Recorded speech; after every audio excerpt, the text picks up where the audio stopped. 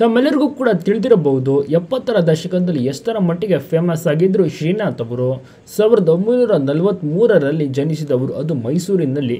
ಮೊದಲು ನಾಟಕಗಳಲ್ಲಿ ಅಭಿನಯ ಮಾಡ್ತಿದ್ರು. ಇವರ ನಿಜವಾದ ಹೆಸರು ನಾರಾಯಣ ಸ್ವಾಮಿ ಕನ್ನಡ ಚಿತ್ರರಂಗದ ಖ್ಯಾತ ಹಿರಿಯ ನಟರಾಗಿದ್ದಂಥ ಸಿ ಆರ್ ಸಿಂಹ ಅವರ ಅಣ್ಣ. ಸಾವಿರದ ಒಂಬೈನೂರ ಅರವತ್ತೇಳರಲ್ಲಿ ಲಗ್ನ ಪತ್ರಿಕೆ ಸಿನಿಮಾದಲ್ಲಿ ಒಂದು ಚಿಕ್ಕ ಪಾತ್ರವನ್ನು ನಿಭಾಯಿಸಿದ್ರು.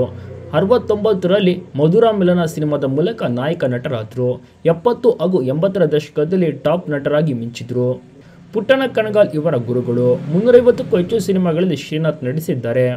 ಬೆಸ್ಟ್ ಸಿನಿಮಾ ಯಾವುದು ಅಂದರೆ ಶುಭಮಂಗಳ ಆಗಿದೆ ಬೆಸುಗೆ, ಕಿಲಾಡಿ, ಜೋಡಿ, ಮಯೂರ ಎರಡು ರೇಖೆಗಳು ಪಾವನ, ಗಂಗಾ ಸೇರಿದಂತೆ ನೂರಾರು ಒಳ್ಳೊಳ್ಳೆ ಸಿನಿಮಾಗಳಲ್ಲಿ ನಟಿಸಿದ್ದಾರೆ.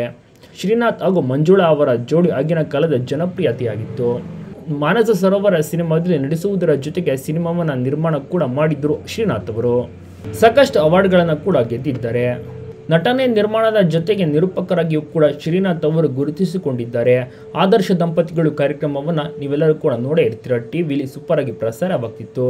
ಇನ್ನು ಇವರ ವೈಯಕ್ತಿಕ ಜೀವನಕ್ಕೆ ಬರೋದಾದ್ರೆ ಇವರ ಪತ್ನಿ ಹೆಸರು ಗೀತಾ ಅಂತ. ಇವರಿಗೆ ಇಬ್ಬರು ಮಕ್ಕಳು, ಒಂದು ಗಂಡು ಮಗು, ಒಂದು ಹೆಣ್ಣು ಮಗು. ಇವರ ಮಗ ಮಾಸ್ಟರ್ ರೋಹಿತ್, ಇವರು ಕೂಡ ಅದ್ಭುತವಾದಂಥ ನಟ. ಪಲ್ಲವಿ ಅನುಪಲ್ಲವಿ ಮಾಲ್ಗುಡಿ ಡೇ ಸೇರಿದಂತೆ ಕನ್ನಡದ ಹಲವು ಸಿನಿಮಾಗಳಲ್ಲಿ ಬಾಲ ನಟರಾಗಿ ನಟಿಸಿದ್ದಾರೆ. ಆದರೆ ದೊಡ್ಡವರಾದ ಮೇಲೆ ಇವರು ಸಿನಿಮಾ ರಂಗಕ್ಕೆ ಬರಲೇ ಇಲ್ಲ. ಸಣ್ಣವರಾಗಿದ್ದಾಗ ಮಾತ್ರ ನಟಿಸಿದ್ರು ಅಷ್ಟೇ ಪ್ರಸ್ತುತ ಶ್ರೀನಾಥ್ ಅವರ ಮಗ ಮಾಸ್ಟರ್ ರೋಹಿತ್ ಅವರು ತಮ್ಮ ಬಿಸ್ನೆಸ್ ಅನ್ನು ಮಾಡ್ತಿದ್ದಾರೆ. ರಂಗಭೂಮಿಯಲ್ಲಿ ಸಕ್ರಿಯರಾಗಿರ್ತಾರೆ.